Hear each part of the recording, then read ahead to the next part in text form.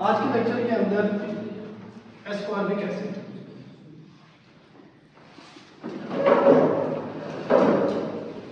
ascorbic acid ascorbic acid जो है, इसका जो साइंटिफिक नेम है, वो ये है, और जो कॉमन नेम जो पब्लिक के लिए है, वो इसका क्या नेम है? विटामिन सी ठीक हो गया?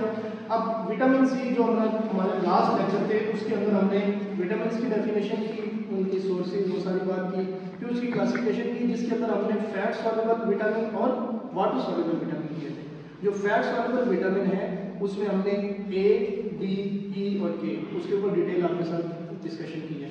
उसके बाद जो वाटर सॉल्युबल है, उसमें पहला विटामिन सी है और फिर दूसरा आपके पास विटामिन बी कम्प्लेक्स है। पहले विटामिन सी की हम डिटेल करेंगे और फिर हम